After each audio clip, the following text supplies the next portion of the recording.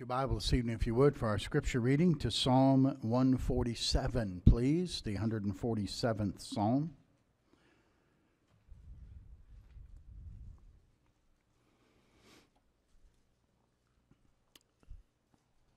Psalm 147. We're going to read the first five verses of Psalm 147 reading them responsibly as we normally do. I'll begin together on one, and then you read two with me, and we'll alternate till we read for, through verse number five. All right? As we usually do, let's stand together for the reading of the scripture. And let's begin together on verse number one. Ready? Praise ye the Lord, for it is good to sing praises unto our God, for it is pleasant, and praise is comely. The Lord doth build up Jerusalem he gathereth together the outcasts of Israel.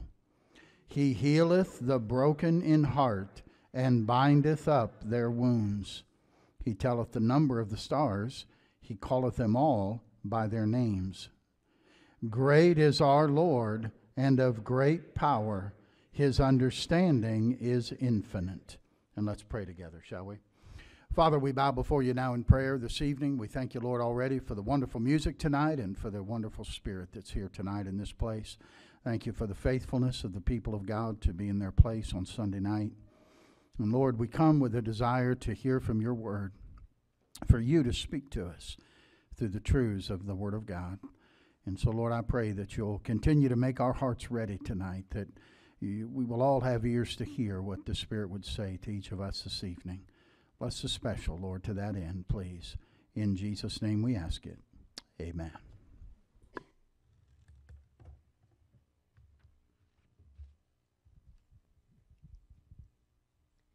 When you're up against the wall and your mountain seems so tall, and you realize that life's not always fair you can run away and hide. Let the old man decide. Or you can change your circumstances with a prayer. When everything falls apart, praise his name. When you have a broken heart, just raise your hands and say, Lord, you're all I need. You're everything to me. Let him take the pain away. When it seems you're all alone, praise his name. When you feel you can't go on, just raise your hands and say, Greater is he that is in me. You can praise the hurt away. You can overcome by the blood of the Lamb and by the word of your testimony. And you'll see the darkness go as your faith begins to grow. You're not alone so, how can you be lonely when everything falls apart?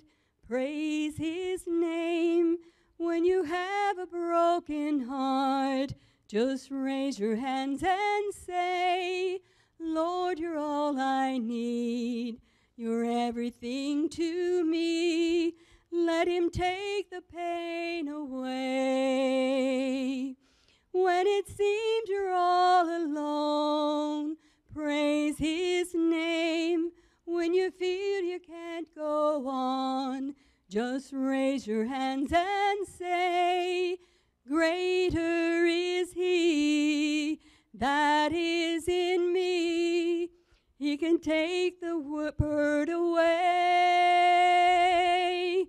if you'll just praise his name.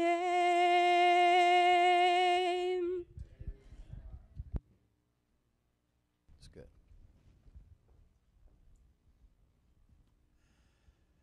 Now, Heavenly Father, we bow before you in prayer this evening as we come to open up your word.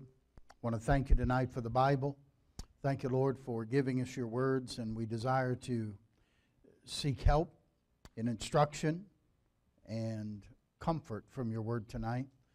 And I pray, Lord, you'd help me as I bring the message to be clear and to be understandable, that it would be a help to the people of God that are here in this place. So, Lord, minister tonight to your people as only you can do. And I'll thank you for it. I pray in Jesus' name. Amen. Um,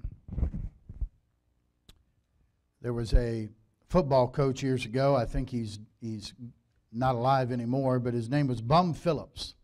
Uh, anybody remember that name, Bum Phillips, football coach? And he was of the Houston Oilers at that time. I think they're the Tennessee Titans now. But he made this comment.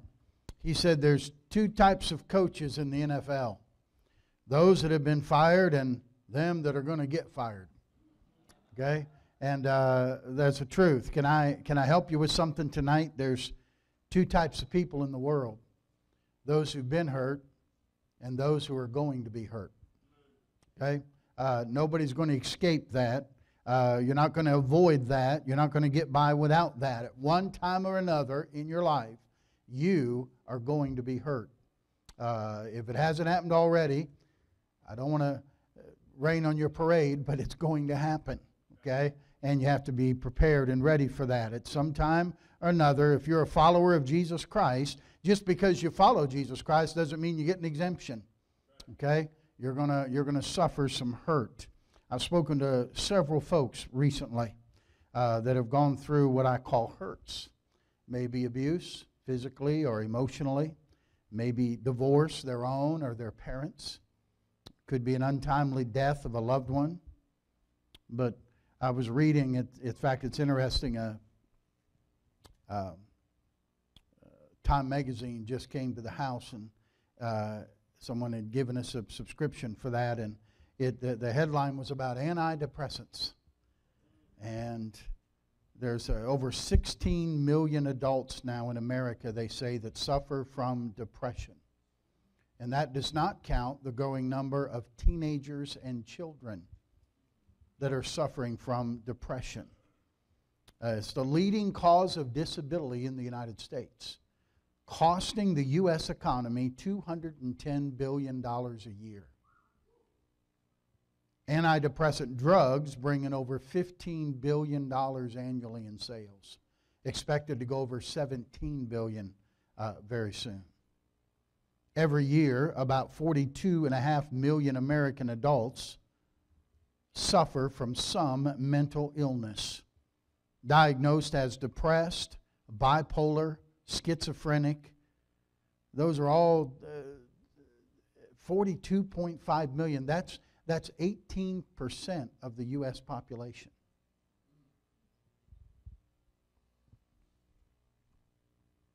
Why are we depressed? Why are we struggling with these things? Why all the mental illnesses? I, I believe uh, uh, much of it is because people don't know what to do with the hurts. They don't know what to do with the, the things that have happened in their life, and they, they don't know what to do with them, and uh, they do the wrong things with them, and it affects them physically. You know, our world is filled with brokenness. Our world is filled with broken people. Every day you can look at people and you see walking wounded going around. Oh, folks learn to disguise it. We learn to, to hide it pretty well. But folks are wounded and they're hurting. And the issue is not if you'll deal with brokenness, the issue is how will I deal with brokenness? Because it will come. Now, there's, there's three types of brokenness there's physical brokenness, which, is, which comes from illnesses, sicknesses, disease, physical things that can break us. There's emotional brokenness. These are hurts and sorrows, uh, traumatic experiences we've gone through emotionally that stay with us. Some of you, some of you have been hurt uh, emotionally by words, and you, will still remember somebody what, what somebody said to you when you were five years old, or seven years old, and words that you still carry with you. Some are spiritual brokenness. Sin leaves us broken in the eyes of God. But it's only when we admit we're broken that God can begin to heal us and God can begin to fix us. The psalm we read, in Psalm 147 and verse number 3, if you notice that when we read it tonight. Notice there with me. He healeth the broken in heart and bindeth up their wounds. Now, let me talk to you about brokenheartedness in, in, in how the Hebrews looked at that word, broken in heart. Uh, our, our modern understanding doesn't quite go as deep as what the Hebrew understanding of that word was. Uh, literally, broken in the heart. The word broken means to be torn, uh, broken in pieces, torn violently, or shattered. In other words, the implication here is it's shattered beyond repair. So many pieces, you can't put them back together again. You can't, no amount of super glue will get the job done. And, and, and nothing can be done. And so you understand the Hebrew understanding of the heart is far more than that organ that pumps blood inside of our chest. Uh, to the Hebrew, it was uh, the center of everything for a person, it was the core of their being. It's, it's who you were. It's the source of the will and, and, and the mind and the emotion. It was the place of strength and courage in a person's life. And so to be brokenhearted meant the core of your being is broken. Who you really are has been crushed. Brokenhearted means to have everything that you are torn away from you. And, and you're left with nothing. Now, there's, there, there's five ways. I'm going to give you five things not to do with your hurt. And then I want to give you five things that you should do with your hurt. Okay? So we got 10 things, about 15 minutes on each one. Hope you brought a snack. No, I'm, I'm kidding. We're not going to take that long, all right? But, uh, but I want you to listen carefully, and I think it'll help you, not only to help yourself, but I hope it'll be able to help you to help somebody else. Okay? Here's what you don't do with those hurts and with that things that have broken your heart. Number one, you don't ignore it. You don't ignore it. I know, uh, you know, the, the, there's somebody who say, hey man, just, just, you know, come on, blow it off, suck it up, get with it, forget it, right? Macho man, right? Come on, what's wrong with you? Uh, you, you just, uh, ignoring it doesn't make it go away. Okay? You can deny it, you can delay it, you can minimize it, but ignoring it never heals it. Ignoring it never heals it. Time heals all wounds. That may be true, but time also can make the infection grow worse if you don't do something about it. So be careful about that. Denying it, delaying it, minimizing it can turn a minor problem into a major problem. And you don't want that to happen. So ignoring the hurt doesn't work, it'll only make it worse. Number two, people run from it. People run from their hurts all the time. They escape, they retreat, they get away as fast as they can. That's human nature. Human nature, we talked about this morning, when, when you feel hurt, the idea is to run away. You want to isolate. You want to get away from everybody. I don't want to see anybody, don't want to talk to anybody. Leave me alone and they want to run away. Sometimes people run, they move. Some of you uh, had, had situations you were younger and your family uh, several times a year, maybe many times a year, get up and move. What are we doing? We're running away from hurts in many cases. The psalmist said in Psalm 55, he said this Oh, that I had wings like a dove, for then I would fly away and be at rest. You know he's trying to do? Run away from his hurt. He said, I would wander off and remain in the wilderness. Selah. Selah means think about it. Pause and think about that for a while. And that's what the psalmist was wanting to do. And when people hurt, they run. Oh, they may run to they may run to drugs. They may run to alcohol. They may run to pleasure. They may run to spending money, gambling. They may run to immorality. They may run to food but people run. And they run to something else to do what? Try and get away from their hurt. Okay? So ignoring it's the wrong thing, running from it's the wrong thing, and then number three, hiding it is the wrong thing. Boy, people, we get good at that, don't we? People hide it. They wear a mask. We're not going to tell anybody we hurt. No one's going to know I hurt. We camouflage our pain. Someone asks, everything okay? Yeah, I'm fine. I'm good. Hmm?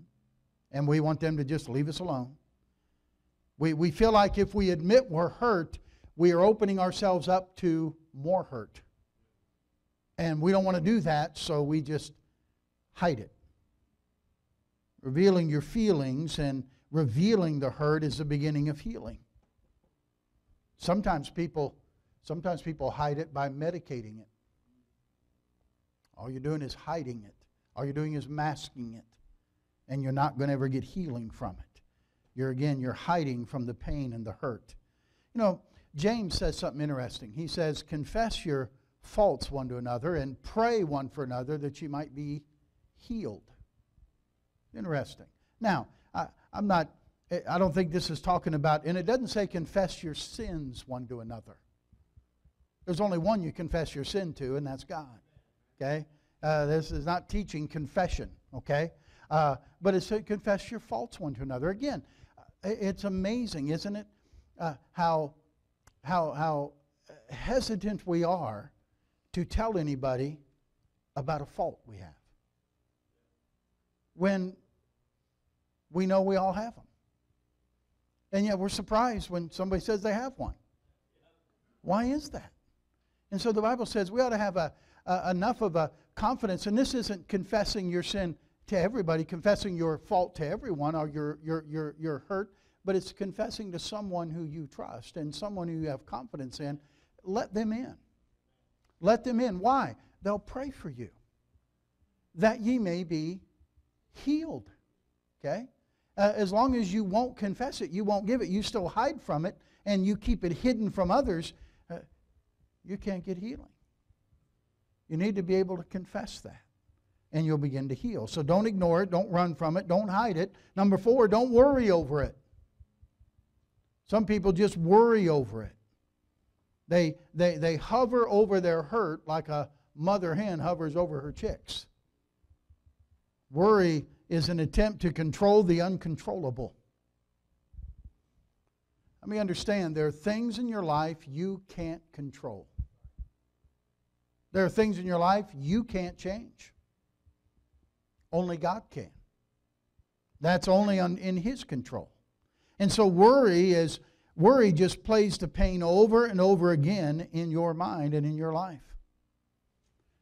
God in the book of Colossians, he told the church at Colossae, he said, Set your affection on things above, not on things of the earth. For ye are dead, and your life is hid with Christ in God.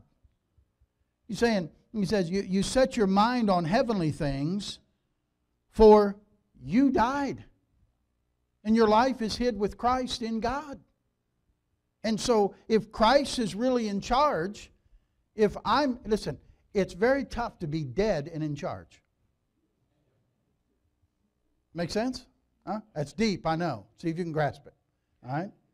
Yeah, I, so who's in charge? Christ is in charge. Why am I worrying about that? Don't worry about when Christ is in charge. Worry never solves any problems, it never heals any hurt. In fact, the more you worry about it, the bigger it seems. So don't ignore it, don't run from it, don't hide it, don't worry about it, because number five, you'll become bitter about it. You'll become bitter about it. And bitterness never makes you better. Oftentimes, when people get hurt, they become bitter. They get angry, and then they clothe themselves in self pity. You want people to feel sorry for you. You get bitter, and you know, the Bible talks about in Hebrews a root of bitterness springs up, and thereby many are defiled. And you just get a sour attitude about everybody. You know, uh, oftentimes you see people as they grow older get bitter. And they're not pleasant to be around. Anybody know any old grouches? Hope you're not married to one. you know, uh, uh, who was I talking to? Uh, Dan and Karen. Uh, they went recently to see her parents, I believe. They're in their mid 80s. And she just said, what, what delightful people they were. They're just positive and happy. And, and it was just a, it's just great to be around them. And I said, you know what? I, I hope when, I hope when I get to be that age, 35 years from now. You don't believe me. Huh? But you know what? That's how I want to be. I, I, don't, I don't want to be bitter. I, wanna, I don't want to see things in a negative light all the time. I don't always want to see the, the cup half empty instead of half full. I don't always see, yeah, but what if this is going to happen? What if that's going to happen? You know, it, it, it, it really comes it really comes to light, you know, when, when you're, it really comes to light when you're a grandparent. You know, you know, there's things that I worry about with those two little kids at our house that, that mom never even blinks an eye at. Uh, any of you experience that? You're like some kids on the edge of this. I'm like, oh, you know, she's going about business. Oh, well, you know, he, I think, wow. But I probably was that way when I was that age. Never thought about it. But you know, I don't, I don't want to always think what can go wrong. Sometimes as we get older, that's what we think too. Now, what if this and what if that? And, and we worry about things. So don't, and, and if you're not careful, you get bitter. Bitterness is a self destructive behavior. Bitterness, are you listening, is a poison that will kill you. It won't affect the person you're bitter at, it'll kill you. So don't get bitter. Anger and bitterness never heal hurt. So you say, all right, Pastor, what does heal my hurt? I'm glad you asked me that question. Let me give you five simple things tonight that you need to remember to get healing from your hurt. Number one, remember who is in charge. remember who's in charge. Charles Spurgeon said this Depression forces me to go back to the promises of God's faithfulness. And here's what I found God was preparing me for something greater. The cloud is black before it breaks, it overshadows before it releases its deluge of mercy. Depression has now become to me as a prophet in rough clothing. I like that. He's saying God's in charge. The world may be falling apart, but it's not without His permission. It's not without God knowing what's going on. God is on the throne. And He never left it. And He doesn't leave it. He knows what's going on. And you belong to Him. And He never loses anyone. Okay? Uh, you are His, and you have the treasure of eternal life. And so God is in charge. And, it, and when you remember that God is in charge, it helps you to remember what the truth is. Because your emotions tell you things that are not true.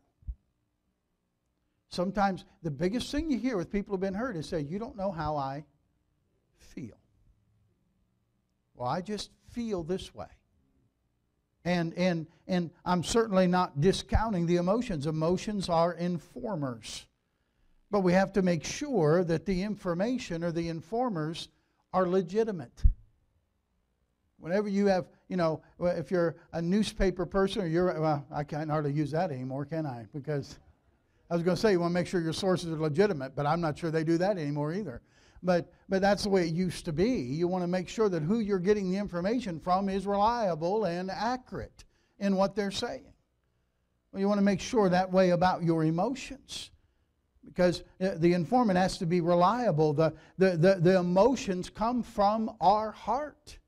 And the heart is deceitful above all things and desperately wicked. Who can know it? So the emotions, they lie to you. That's why don't, don't listen when somebody says, follow your heart. Don't do that. Follow God. Follow His Word, not your heart. Now, how do I know then? How can I make sure if I'm, these emotions are coming from my heart, which means they're from the core of my being? It's really how I feel. I understand that. So I'm not saying just dismiss the emotions. I'm saying check them out. And how do I check them out? Well, the Bible says in Hebrews 4 and verse 12. Look there with me, will you? Hebrews chapter 4. Turn your Bibles over there. Hebrews 4 and verse number 12. Are you doing all right? Okay. Hebrews 4, verse 12. Notice what the Bible says here. Are you there? Say amen. Okay? For the Word of God is quick and powerful and sharper than any two edged sword, piercing even to dividing asunder of soul and spirit, and of the joints and the marrow. And it is a discerner of the thoughts and intents of the heart. It's the thoughts, uh, the discerner there means that which distinguishes or that which causes to understand. So, what is it that causes me to understand my emotions that are coming from my heart? It's the Word of God. The Bible helps me understand what these emotions, whether they're true or whether they're false, whether they're reliable or unreliable. And so only the Bible can do that. You have to trust the truth. You have to trust who's in charge. Who's in charge? God are my emotions? God. No matter what my emotions say. See? I have to bring, I, have to, I know whether my emotions are reliable or not because the Word of God will show me whether they are or not. And so you submit them to the Word of God. Listen, any airline pilot will tell you he has to refuse to trust his own instincts and his own senses when he's flying in a storm. What does the pilot have to trust? The instrument panel. He has to trust what they're saying. You've heard, I think, I think the most famous one several years ago was uh, uh, the Kennedy, uh, the young Kennedy fellow. He was flying his plane, and he, they say he got, he got, you know, where, where you get turned upside down. You don't think up is down, down is up. You're, you don't know what, what, what you're looking at. Because you have to trust the instrument panel. There's times when your emotions, you're not going to go whether you're, you don't know whether you're up or down. You don't know whether what's right is right or wrong is wrong or upside down. You need to trust the instrument panel. And don't rely on your instincts. Rely on the Word of God. So realize who is in control. If that pilot can get so confused that he loses his sense of up and down, we sure can get confused and lose our sense of what's right and wrong as well. And our emotions can do that. So, number one, remember who's in charge. Number two, number two, don't blame God for your dysfunctional family. Don't blame God for your dysfunctional family. How many understand you can choose your friends, but you're born with your family? You didn't pick the family you were born into. Now, for this, I want you to go back to the book of Genesis. Would you go there, please?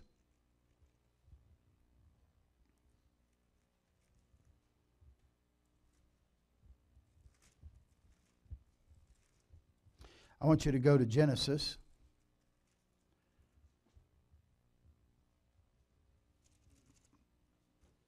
Um, chapter 39.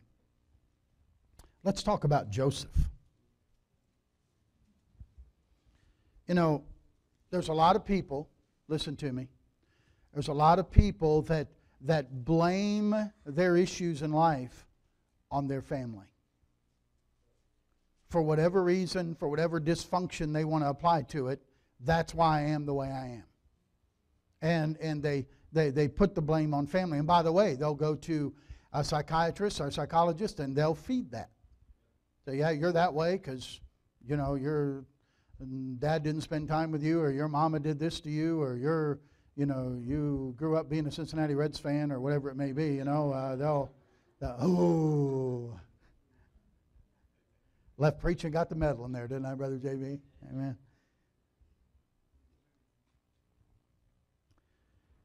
We love to blame our situation on our family, but I want you to think about Chase, I want to think about Joseph's family, will you?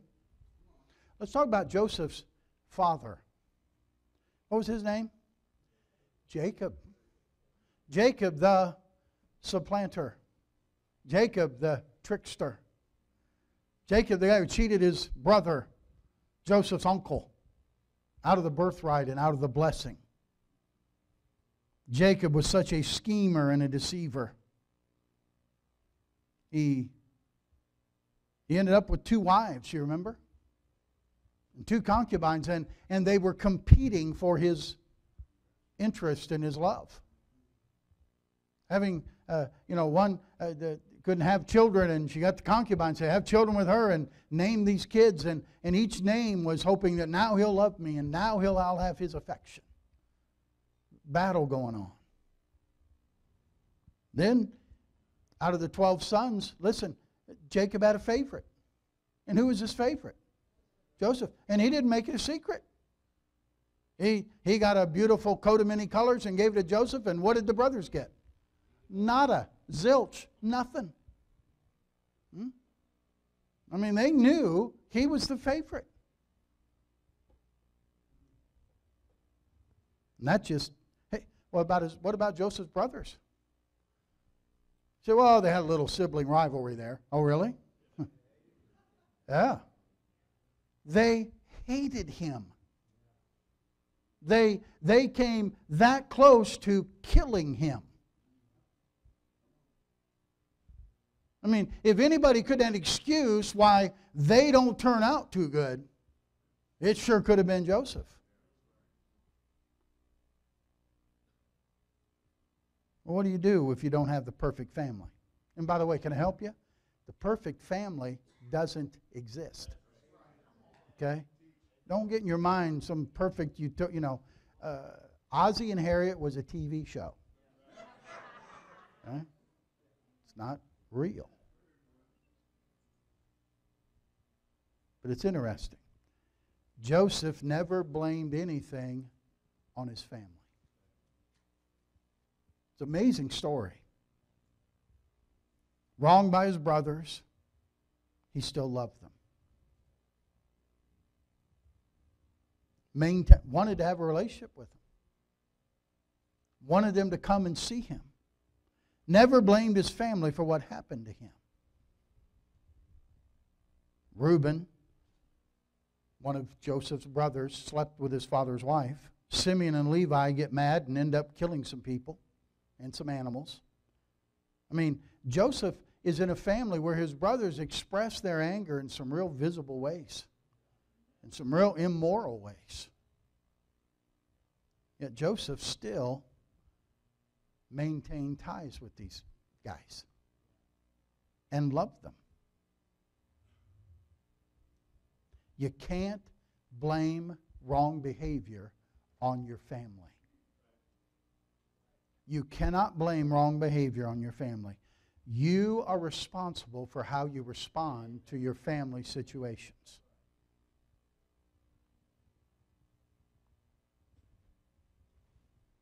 You have to be faithful to God despite the emotional baggage that sometimes comes with families.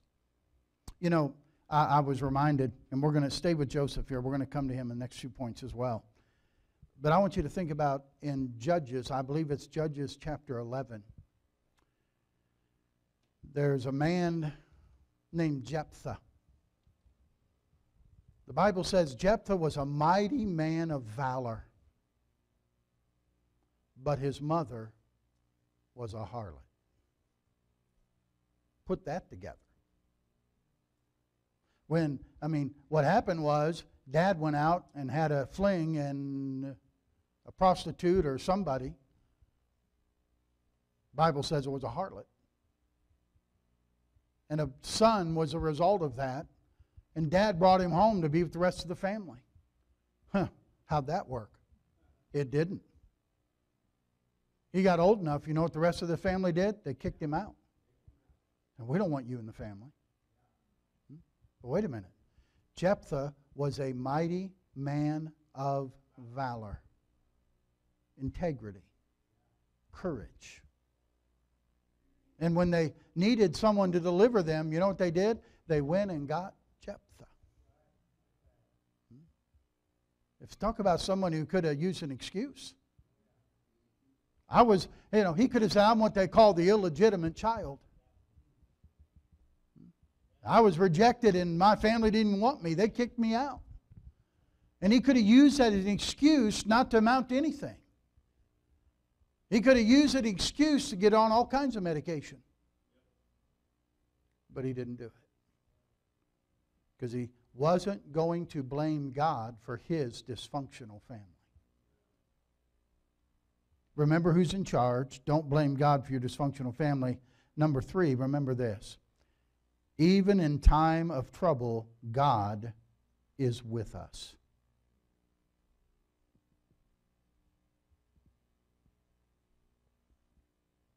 Joseph, hated by his brothers, ganged up on, thrown in a well, or thrown in a pit, and sold to slave traders, taken to Egypt, sold to Pharaoh or the Potiphar, who's uh, high up in the Pharaoh's personal guard. Let me ask you a question. You think Joseph had a right to be angry? Be careful. Was he treated wrongly? Yeah. Does that justify him acting wrongly? No. He wouldn't allow the bitterness or the anger to capture his soul. He continued to have the right perspective of God. He remembered who was in control. Chapter 39. Joseph was brought down to Egypt, and Potiphar, an officer of Pharaoh, captain of the guard, an Egyptian, brought bought him of the hands of the Ishmaelites, which had brought him down thither. Here's an important, don't miss this phrase. First phrase of verse 2 And the Lord was with Joseph. The Lord was with Joseph. Even in the worst of circumstances, who was there?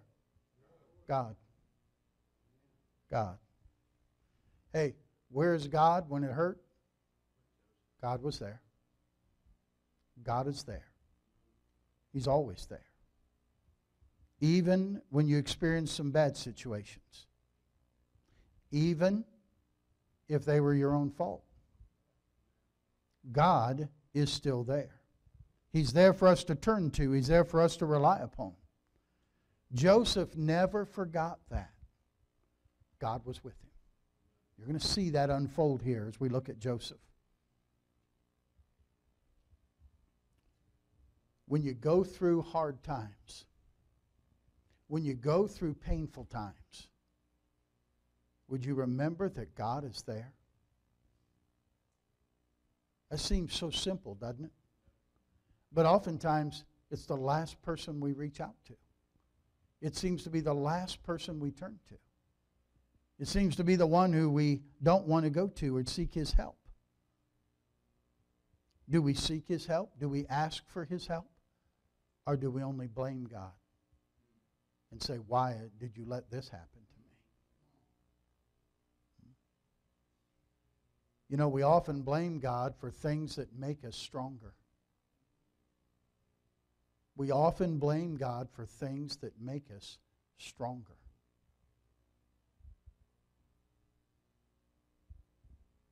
God, God does not often give us what we like, but He does give us what's good for us. You know, most of you, if, how many of you have been out of school? Uh, think back to high school, okay? Some of you, that's almost impossible, I know. Brother Bob, think of that one room schoolhouse, okay? you, uh, but you, you think about teachers you had. Most everybody, most everybody had the fun teacher. You could do stuff in their class and talk, and, and then you had that teacher that was hard.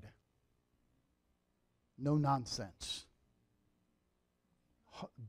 strict. Thank you. You remember high school? Man, that's good. Did they have high school? Never mind. Oh, Jeanette. Um, you, you know what's interesting? Once you're through and you look back, you know who you appreciate? The tough one. The one who made you learn. The one who didn't just tell you everything was on the test so you could memorize it and spit it out and then never learned anything. The one who made you think. The one who made you work. I talked with Brother Barnes, who runs the discipleship home in Rockford. He said, You know, he said, There were guys here that when they were in the home, he said, and you, if you asked me about them, I'd have told you they hate my guts.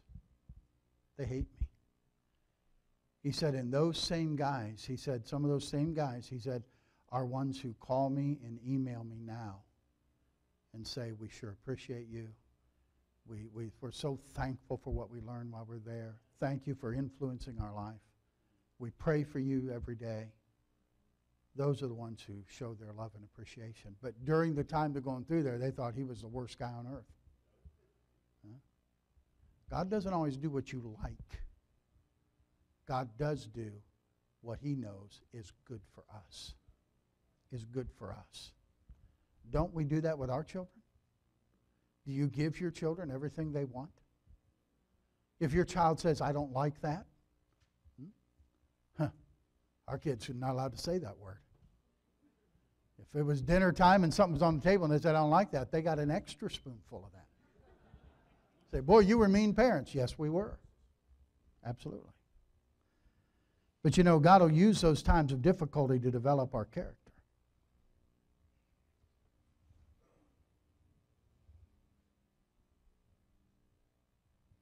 Joseph had to be a man of character. He wasn't, he wasn't going to come by it genetically. That wasn't in the genes. If he got his daddy's genes, he's going to trick and deceive and, and, and, and scheme away to get what he wants. But God wants to develop character in him. So he has to wait patiently and strengthen his confidence in God a period where he's waiting. He got into Egypt, and not long after he got into working for Potiphar, he got promoted. And he got promoted to be over everything Potiphar had. Nothing went on in all of Potiphar's house, but Joseph was the doer of it. They all cleared it through him. And one day, Potiphar's wife comes after Joseph. And it wasn't just a one day thing. Look at uh, chapter 39 and look at verse number 10. It came to pass as she spake to Joseph, next three words, church, day by day, that he hearkened not unto her to lie with her or to be with her. Day after day after day, she was there trying to find a way to get him to be immoral. Joseph had the character to, to say no. He eventually fled. And when he flees, she grabs his coat and keeps it, and then she screams and tells everybody he tried to force himself on her. Now, are they going to believe Potiphar's wife, captain of the guard? Are they going to believe this slave that just got bought, that the Ishmaelites brought in? Well, certainly they're going to believe her. He's thrown into prison.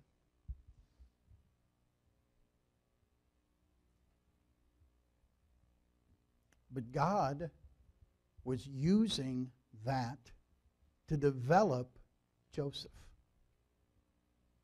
He was preparing Joseph for what he would do with him later. The things that God, some of you went through some things, and listen, it is as bad as prison. You feel like it was a prison. But God was using that to develop you for the work He has for you to do, to be the person that He wants you to be that later Joseph would get out of prison and stand before Pharaoh. And he developed wisdom and he developed character that he otherwise may have never had had he not been through that experience. God perfectly suited him and prepared him to lead the nation of Egypt through the difficult days of famine that would come. Pharaoh recognizes out of all the people in the whole land of Egypt, who's the best guy to lead us through this? Joseph. I'm sure that didn't set real well with all the Egyptians. Huh. Who's this outsider coming in and running things? But he elevates Joseph to second in command of the whole nation. Joseph didn't know what was ahead, but God knew what was ahead. God knew what was coming. God was with him. In fact, when he gets put in prison, chapter 39. Again, verse 20. Joseph's master took him and put him in prison, a place where the king's prisoners were bound, and he was there in prison. Ah, ah. Remember, he was in Potiphar's house, sold as a slave, but the Lord was with him. Now he's in prison, but verse 21, what's the first phrase? But the Lord was with Joseph. He was with him even in prison. The keeper of the prison, verse 23, looked not to anything that was under his hand because the Lord was with him. And that which he did, the Lord made it to prosper. God was with him. God's always with you. He's always with you. Don't ever forget that. Number four, seek God's purpose in your suffering and hurt. What is God's purpose? It is not necessary to ever ask God why. Who is God? God is the King of kings and the Lord of lords. Let me ask you a question. Can God do whatever he wants to do? Yes or no? Huh. Does he need my permission? Does he need your permission? No. Why do I question? Why are you doing that? Why are you doing that? Does the creature say to the creator, Why are you doing this to me? Does the, does the vessel on the potter's wheel say to the potter, What are you doing to me? Hmm? You see, God, God can accomplish great things through suffering. That, that is hard for American Christians to grasp. It's, it's probably, I don't know, 75 degrees in here. We're suffering. No, we're not. No, we're not. That's how, you know, we were, it's interesting, you baseball people. I was watching the game last night, and the, the first place Cleveland Indians game. And um, thought I'd throw that in.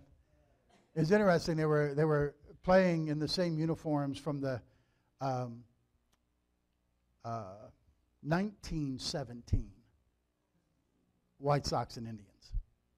Both those franchises over 100 years old. And they were getting up, putting up statistics from 1917, where the one pitcher for the Cleveland Indians, Brother Jason, was had 23 wins that year. And I, that was fourth best in the American League. He had 320 innings pitched. Nowadays, nowadays, and by the way, that was fourth best in the league. Nowadays, if a pitcher gets 200 innings, he's a, he's a workhorse. This guy threw 320, and he was only fourth best in the league. My son said, Wow, what has happened to us? I was talking to my son during the game. I said, Yeah, we've, we, we've become wimpy. A pitcher down baseball, oh, he gets to 100 pitches, we got to shut him down. Hmm? Bob Feller and some of those old timers, they laugh at that stuff. Anyway, most of that doesn't mean anything to most of you, but what am I? Uh, what I'm? What I want to say is, we get we've gotten so soft. We've gotten so so uh, sissified that, that if we suffer a little bit or we, we have something a little hard, we, we don't want anything to do with it. But personal suffering has several benefits. Listen, it could help us to understand the sufferings of others. It could help us, it, it will produce Christian maturity. Suffering, by the way, suffering can bring someone to Christ. Some of you would have never got saved if you hadn't been in a hard spot. Sometimes God puts people in a place where they have nowhere to look but up. And if He doesn't do that, they'll never look up. And some of you would be, wouldn't be saved if God hadn't pulled the rug out from under you in your life. But suffering also can bring us into a closeness with Christ that we'd never know if we didn't suffer. Paul said, I want to know the fellowship of his sufferings. That's why Paul said, I bear in my body the marks of the Lord Jesus. And he was glad to do so. Why? The fellowship of his sufferings. There's, a, there's an immediate, there's immediate connection with people who've gone through similar suffering. Those of you in the room tonight that have, that have lost a spouse, there's, there, there's people who can come up and say, Boy, I understand. But you know what? If they haven't lost their spouse, they don't understand. They can try to understand. But boy, when someone else comes up alongside of you who just lost their husband or just lost their wife not long ago, there's an immediate connection. Because you know what? You know they've been through, they're going through, or they've been through what you're going through. When you lose a child, somebody can try to understand and say, Oh, I, I, I understand what you're going through, but if you've never lost a child, you don't know what they're going through. But if one has had a miscarriage or one has lost a child and another woman comes up and says, You know, I went through that. And he tells their story. There's an immediate connection between those two women. Happens all the time. Suffering accomplishes something in our life. God has a purpose in everything he does. God has a purpose in all things. Hey, do all things work together for good or not? Is that promise true or not? Look at Genesis 45. Move ahead with me, will you? Genesis 45. I want you to see something. Joseph saw God's hand in the circumstances of his life. Now, hey, remember when they found Joseph and he, he had on that coat and they said, Well, we're away from home. Dad'll never know. They, they took him, they were gonna they threw him in a pit, they were gonna wait for the wild animals to come and get him. And then they ended up selling him into slavery. And and they took his coat, and remember they tore it up and they put it in blood. Blood of an animal, try to convince dad he was murdered. Right? And then the Ishmaelites came and they sold him. Who sold Joseph into slavery? His brothers. Let's see what Joseph said. Joseph, verse 4 Joseph said to his brethren, Come near to me, I pray you. And they came near, and he said, I'm Joseph, your brother, whom ye sold into Egypt. Now therefore be not grieved, nor angry with yourselves that ye sold me hither. For God did send me before you to preserve life. These two years hath the famine been in the land, and yet there are five years in which there shall be neither earing nor harvest. And God sent me before you to preserve your posterity in the earth and to save your lives by great deliverance. Verse 8, are you watching? So now it was not you that sent me hither, but who sent Joseph into Egypt? God did. Who had Joseph sold into slavery and sent down to Egypt? God did. God did. And Joseph saw that. What's God doing in your life? What's God doing in your life?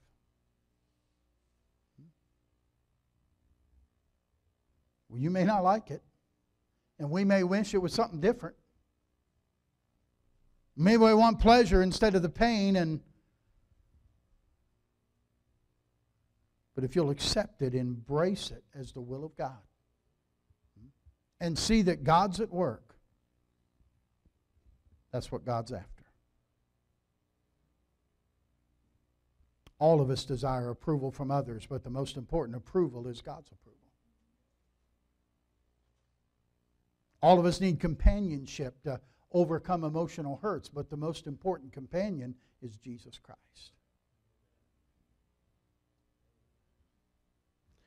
I want you to look in Genesis chapter 50.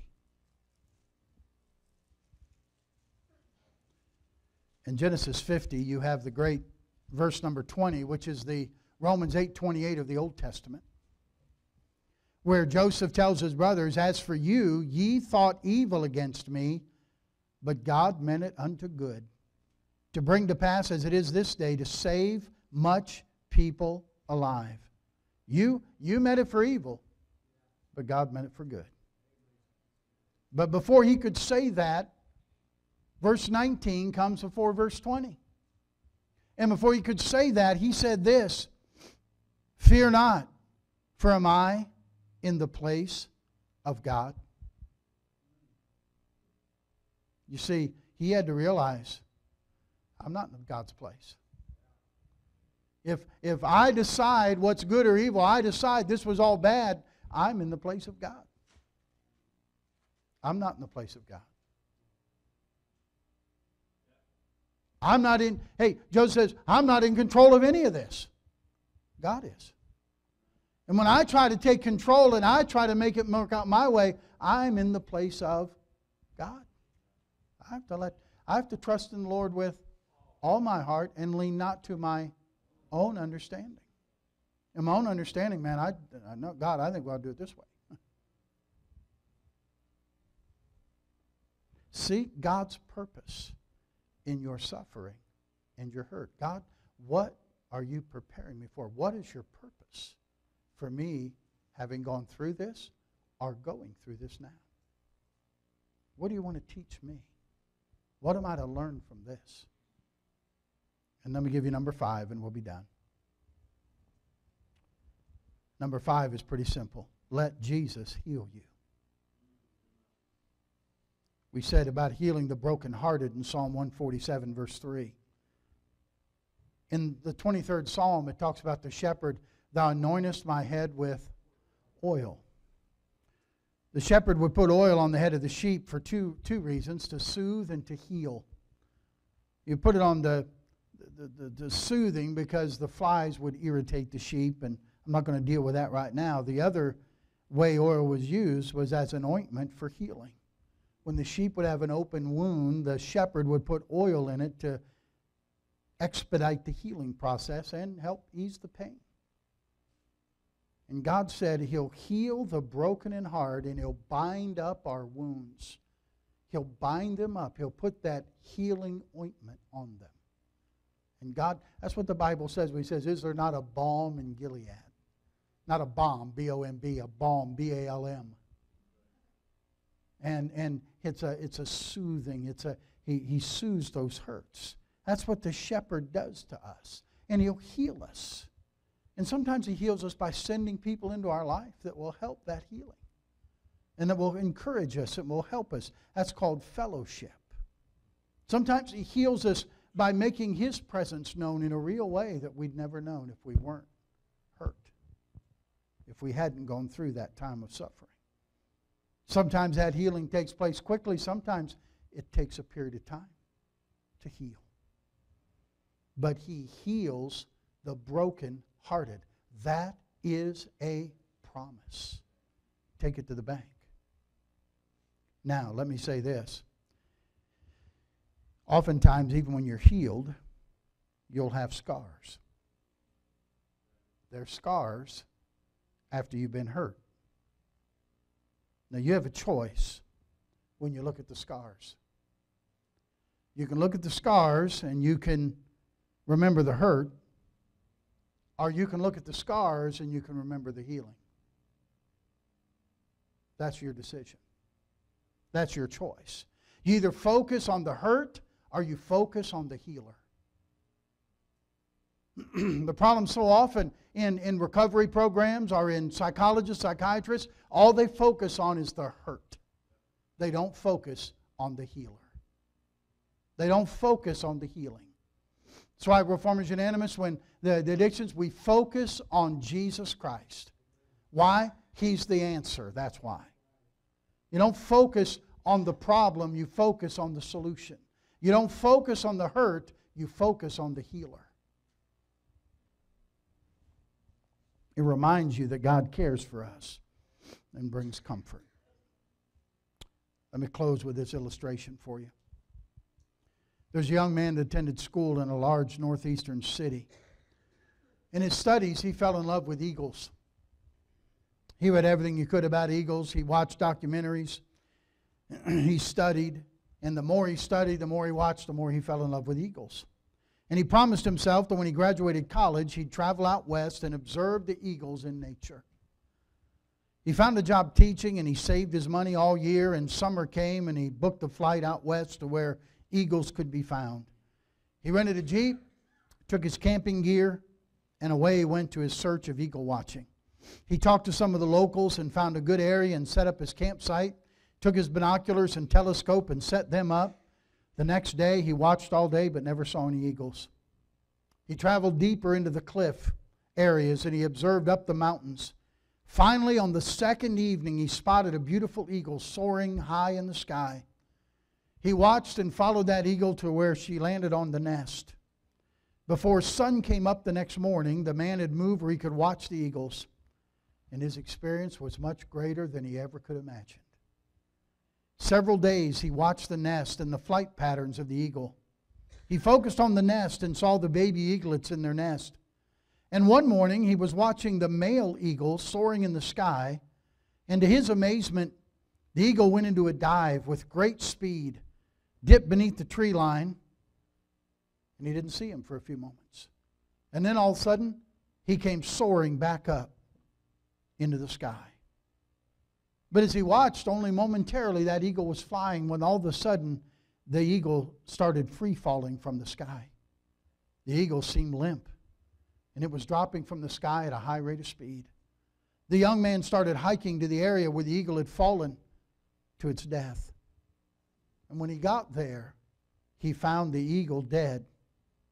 And attached to its chest was a dead weasel. It seemed the eagle had swooped to the ground, captured the weasel with his sharp talons, and as the eagle started flying upward, the weasel dug into the eagle's chest and it dug into the eagle's heart. As the eagle was clinging to the weasel, he refused to let go. Had he just let the weasel go, it would have dropped to its death and he could have went down and got the food. But he refused to let go. And hanging on to the weasel meant sure death for the eagle. The young teacher stood over that lifeless body and he said, Eagle, all you had to do was to let go. All you had to do to live was to let go. Some of you tonight, in order to live, you just got to let go. Let it go. Let go of the trauma, let go of the hurt. Remember, God is in control that whatever happened, they may have meant it for evil, but God meant it for good. And God will use it for good in your life. Hanging on will only bring you down. Clinging to the bitterness and anger and the hurt, it'll destroy you. Let go and trust God. That's what you do with the hurts of life. Let's pray together, shall we, Father? Take the truth now this evening. Thank you, Father, for your word.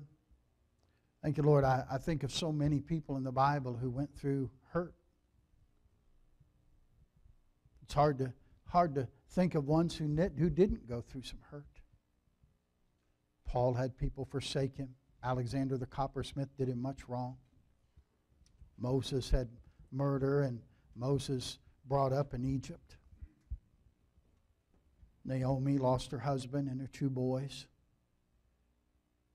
David with his dysfunctional family. So many, God. But they learned what to do with their hurts. And I pray, Lord, you'd help folks tonight to take these truths and to meditate upon them. There'll be many that tonight will get the weasel off their chest that's been sucking the life out of them. And they'll be free to soar to the sky again and do whatever it is you'd have them to do, that they could rise as Joseph did. Be what you desired him to be and what you molded and shaped him to be. Even through the hurts, even through the trials, even through the heartaches. Speak to hearts tonight, God, and I pray that many people will let it go this evening. Heads are bowed and eyes are closed. I'll finish praying in just a moment. I wonder how many folks tonight would say, Preacher, there's either hurts I'm going through now or there's a hurt from my past. It's been difficult for me. tonight, the Spirit of God helped me. And I know now what I need to do with the hurt. And I'm going to I'm going to look over these things and I'm going to by the grace of God do these things. And pastor by the grace of God I'm going to get that weasel off my chest tonight. I'm not going to live in my hurt anymore. God is in control of my life. God is working in my life. God is always there. I will trust Him that He knows what's best for me. Pastor, God has spoken to my heart tonight. Please pray for me this evening. Would you slip your hand up tonight, Christian? Yes, yes, yes. Amen. Many hands. God bless you. You may put them down.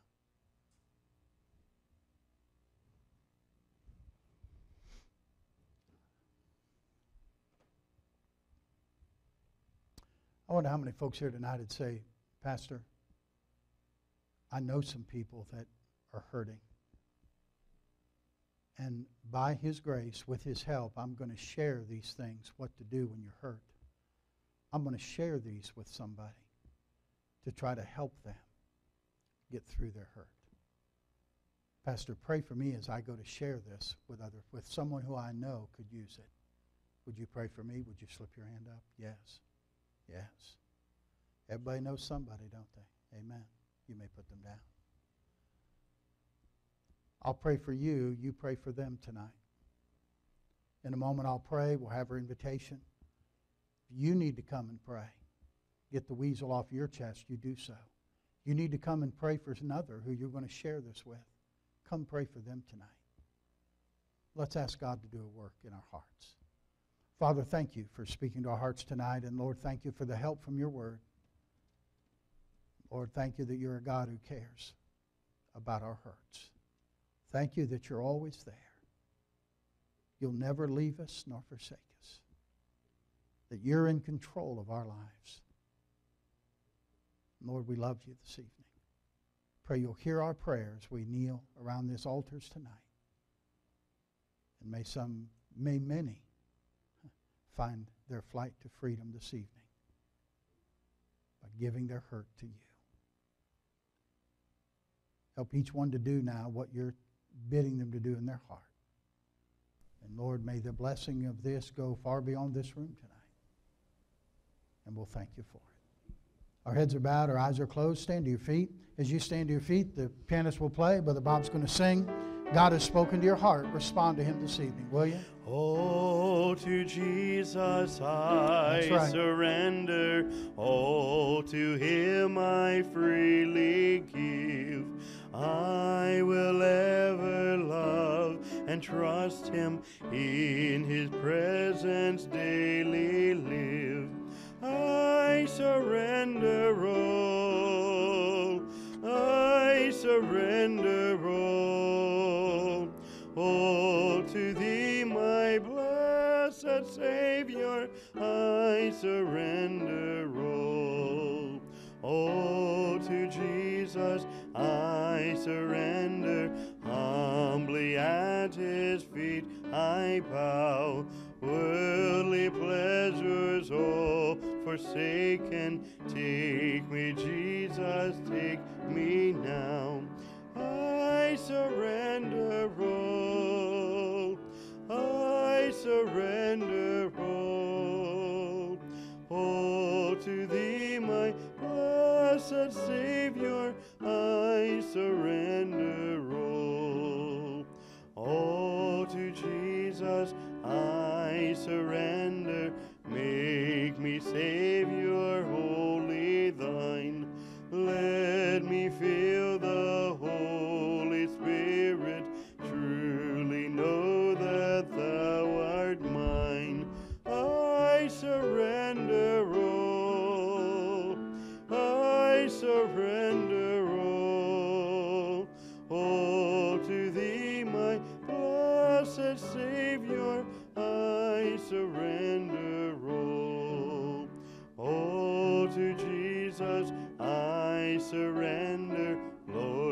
I give myself to thee. Fill me with thy love and power.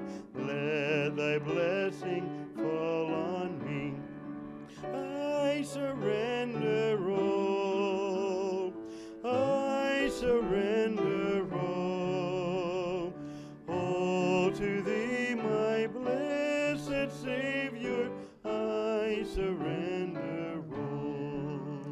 This way for a minute. You know, I was thinking about it kind of it's amazing how it kind of fits in with the morning message as well. You know, eh, going through suffering is an opportunity for folks to see Christ in us. I, I thought about Saul when it, Jesus said on the road to Damascus, it's hard for you to kick against the pricks. I, I, I really believe that's the pricking of his conscience. And I think it goes back to where Stephen was stoned and they laid their clothes at the feet of a young man named Saul. And he watched Stephen get stoned to death. And, and they watched as his face, the Bible says, looked like the face of an angel. And he basically said what the Lord Jesus said on the cross, pretty much. Lay not this sin to their charge. He said, don't, don't forgive them. He, he never got over that. How can a guy, when they're throwing you with rocks, stones, you know, I would think most people would be angry and lash out as much as they could. I don't know if it was me, I'd want to pick one up and throw it back. And he didn't do that. And that never, that left uh, an imprint on Saul that he never got away from. You know, when, when you allow others to see Christ in you through the suffering, through the hurt, it makes an impression on them that they very, very have a very difficult time getting away from. May Jesus be seen in us. May we know what we do with our hurts. Amen. Let's pray together. Father, thank you for a wonderful day today. Thank you for our church family. Thank you, Lord, for being a God who loves us and cares for us and is actively at work in each of our lives. And Father, I pray that you'll continue to make us mindful always. And as we run this race, help us to keep our eyes focused on Jesus Christ, the author and finisher of our faith. And may you work in us and through us this week that which is well pleasing in your sight. Lord, let us be a blessing and let us be an encouragement. Let us be a help to every person we come in contact with this week. May others see Jesus in us. Thank you, Lord, for a good day in the house of the Lord. Dismiss us now with your care and make us mindful that you go with us from this place. In Jesus' name we ask it. Amen. Amen. It's a grand thing to be a Christian. It's the best thing I know. Let's hear you sing it, all right? Hey, it's a grand thing to be a Christian. It's the best thing I know. Hey, it's a grand thing to follow Jesus anywhere and everywhere I go. For it's a grand thing to be a soldier in his army here below. It's the grandest thing to be a Christian. It's the best thing I know. God bless you. We'll see you Wednesday night.